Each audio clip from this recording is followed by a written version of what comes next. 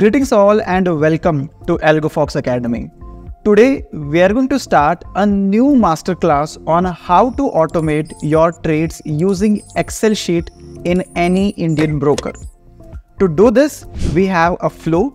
Let us discuss that flow in complete detail. Alright, so this is an Excel sheet and we would like to automate trades from this Excel sheet. We would also want to use a WebSocket to connect Excel sheet for the live data streaming and as per the live data fluctuation, we would want to real time connect it with a broker and execute trades. Now, as you already know that AlgoFox connects with AmiBroker, with MT4, with TradingView, with Chartink and with Python. Now this Python can be connected to an Excel sheet and from Excel sheet the order goes to AlgoFox. From AlgoFox, the trades can be either done in paper trading for virtual stimulation or with live trading in multiple brokers like Fyers, Angels, Zerodha, Alice Blue, Upstox, so forth and so on. So using Excel and AlgoFox, you will be able to automate trades in any of your preferred broker. For that, we have already done the Python code and we have already written an Excel sheet. Let us see how the Excel sheet looks like. So this is the folder where we have this AlgoFox Excel sheet and this is an AlgoFox Python application that would connect with a broker's WebSocket and real-time stream the data into AlgoFox. So before I start talking about the entire live streaming, let us open this Excel sheet right now. So this is how the Excel sheet looks like. This is one of the most advanced Excel sheet that you will find in this industry. So I'll just zoom in a little bit. You will see there is symbol. Sim in the symbol, you have to write the symbol name of which you want the data. For that particular symbol, we will be fetching the open price, the high price, low price, the LTP which will fluctuate in real time, the volumes which will fluctuate in real time, VWAP value, best bid price and best ask price. So in the market depth, the first row, the best bid price and the best ask price will also be fetched here. The previous day's close, at how much quantity you want to take a trade in, the direction whether you want to take a buy signal or a short signal, and whether you want to enter or exit, and when the whether the entry is executed perfectly, whether the exit is executed perfectly, all of the details will be visible here. So we, we formed a template. In this template, the moment I write any symbol, the values of these will populate and fluctuate in real time. And then also when I'm taking an entry, I can keep stop loss and target in terms of percentage. I can even trail the stop loss in terms of points, percentage. I can even add buffer for my limit price to avoid slippages and then if I want to do some time based entry exit, I can have entry time, square of time. If I keep, let us say, entry time at 920 and if I run this Excel at 915, only after 920 the entry will get executed. So you can imagine 920 straddles, strangle, all of that can also be automated using this Excel. And then of course we have a lot of other parameters like whether I want to take MIS trade or NRML trade, whether limit or market or entry stop time, entry start time, so forth and so on. Apart from this, in this Excel sheet, we have developed a lot more advanced module. We are going to cover all those advanced module in coming lessons as well. In today's class, the basic class, we are just going to populate the real-time values of our favorite scripts here and we are going to push order from this Excel sheet first into paper trading mode and finally into live trading with our preferred broker. So let's start the process. I'll close this and here before I start this Excel, Excel we also have a credential AlgoFox. This is an Excel sheet that is binded with this Python program. When I run this Python program, it will fetch the values from this Excel sheet and authenticate the broker APIs. Now there are many brokers in India who provide you WebSocket data of live prices. So I'll just open this and in this we have two subsheets. One is credential, other is check. In the credential, I have to mention my broker details. For example, I'm using one broker whose name, username, password and 2FA key. A lot of brokers uses 2FA to authenticate. So if I don't want to manually press the authentication keys, I can just put my 2FA key here, my access token, API key and secret here. There are many brokers who give you unique key and secret and based upon that automatically the token would be generated and automatically the flag from 0 would become 1 and the session would start.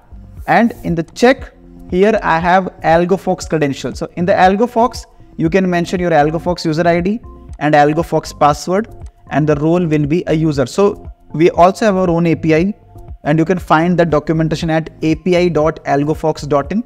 So the Python gets connected to our APIs via api.algofox.in documentation where we would need your user ID and password to authenticate the session and that's it. I'm not going to change anything in this Excel sheet. So effectively, I have a AlgoFox Excel where I will be fetching the scripts data and also I have one more Excel where I've already stored my broker credentials and AlgoFox credentials so that my Python can auto pick it and live stream the data in this particular Excel. Also to make sure that the live streaming happens seamlessly, we have Chrome driver here so that as and when the Google Chrome gets updated, this Chrome driver will also update in real time so that our Python program runs seamlessly. Now, all I have to do is just double click on this Excel sheet. And the moment I do this, Python program runs. It will now log in into my broker. Login is successful. It will start the WebSocket data and the WebSocket data is running and it automatically has started this Excel sheet. Now, the same Excel sheet that I was showing you a few minutes before is now connected with market data real time. So I'll just zoom in and now let me show you how exactly the data populates here. For example, if I want the data of any equity symbol, I'll just use command NSE and then let us say DLF. The moment I write this, you will see the data is populated in real time, open, high, low, the LTP which will also fluctuate in real time, volume, VWAP, best bid price, best ask price, all of that is populated in real time. Now similarly, if I want another one more symbol, let us say NSE SBIN. That's it. You will see again you have open price, high price, low price, LTP, volume, VWAP, best bid, best ask, close, everything coming in real time. Now, if I want to send orders from this Excel sheet to AlgoFox, it can be done very, very easily. To do that, let us simply go to the AlgoFox. So I'm in trade.algofox.in. I've used the same user ID that I have binded in my Python. So this is one particular AlgoFox user. In this watch list, I can create my own watch list. For example, I have two symbols DLF and State Bank of India. In DLF, I want to buy shares worth rupees 5000 and in State Bank, I want to buy only one share, right? Similarly, I can create symbols for futures, for options, for commodity, for currency, everything. If you want to know the format to write these symbols for different segments, we have sheet 1 where we have given them main formats. For example, for cash, it is this way. For weekly option, for monthly option, for stock future, for stock option, for commodity futures, all of the formats are given here. Again, in the sheet 2, there are a lot of calculations. For example, um, if you want to calculate PCR ratio, if you want to check the current volatility index, if you want to know max pain, max loss, and a lot of other option strategies format is also here. We are going to cover all of these things also in detail in our coming lessons. But in today's lesson, we are going to stick to simple concepts that is automating trades using this Excel in paper trading mode to begin with. For example, here I can mention one one quantity. Again, the quantity mentioned here does not matter if you have already mentioned the quantity in AlgoFox. So in AlgoFox, I have mentioned the quantity as for DLF, I want to buy shares worth rupees 5000 and for State Bank of India, fixed one share. So even if I mention anything else here, it will still not matter. In AlgoFox, whatever you mention, the quantity will get overwritten. Now here I have direction buy. If I want, I can use direction. There are two directions, either it will be buy or it will be a sell. So I can either keep a direction as buy or a direction as sell. If I want to short, I can keep direction as sell. So I can delete this and write as sell. And if I want to buy State Bank of India, it will be buy. Now, to execute trades from this Excel sheet, I can use multiple Excel formulas so that when that command becomes true, the trade can automatically trigger. Or if I want to manually push the order, in this entry signal command, in this N cell, I can either write as true or 1. The moment I write as true, you will see order submitted and in my Excel sheet, in my AlgoFox here, in the order log, you will see short DLF is complete and just now at 115.58 the order got executed as well. So the net position you will see DLF worth 5000 rupees is sold and in the paper mode I can see my unrealized PNL also live and this is how the position looks like in the paper mode. Now if I want to exit this position using Excel sheet again I can do it. Again for the exit signal I have to just write as true and there you go order is submitted come back here in the net position the order is gone. In the order book you will see short and cover simultaneously right? So here we did a short at 115 at 116 we covered it up. This way if you want to automate trades using excel sheet you can do it. Now similarly i'll just once the orders are completed you just have to delete entry signal exit signal because if you want to take the trade again you'll have to delete them. Now not only this, I can take trade in FNO segment also. For example, if I want to trade in weekly options, let us say for October weekly option, I'll go with NFO, Nifty, 23, O stands for October, 12 is the expiry, and let us say 19,800 call. The moment I write this, you will see the data is getting populated and currently 19800 call has this value 63.25 similarly if i want 19800 put value i can mention it here and there you go. Now i am getting 19800 call value as well as put value. Now as i said in this excel you can do whatever you want.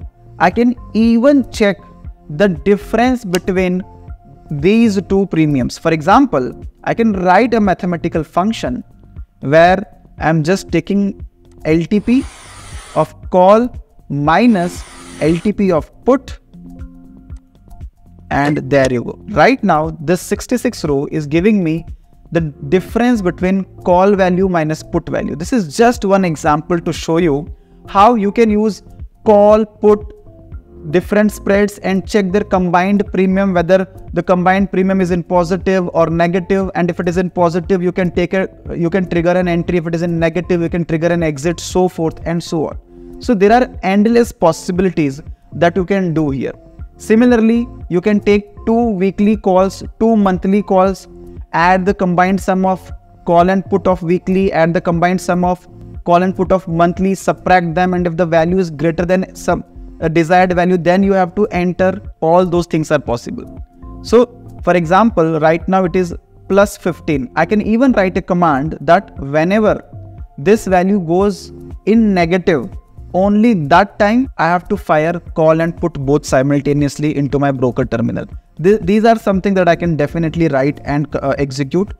This is some and we will do all of these drill in our upcoming lesson. Right now we have done a drill on paper mode. Let us do the exact same drill on live trading as well. So what I'm going to do is instead of paper on AlgoFox, I'll simply go to auto mode. In auto mode, I am going to go to trade settings. In the trade settings, I'm going to choose my broker as Fyers. We have a special association with Fyers. If you open an account with our referral link in Fyers, you get this Excel sheet at flat 80% off. The price of this Excel sheet is 15,000 rupees a one-time price for lifetime validity. But if you open an account with us in Fyers, you get this Excel sheet to automate your trades at just 3,000 rupees. Now, I'm just going to generate token in Fyers. I'm going to add my mobile number.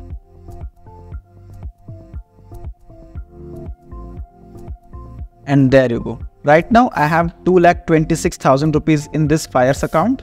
just to showcase you, I will also simultaneously log in into Fyers account here side by side. So this is the same account and let me show you how Excel will fire orders here.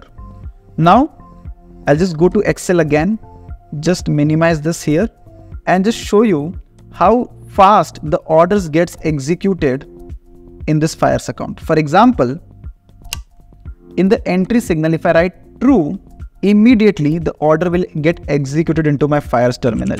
So this is, so just write true and you see DLF order is executed.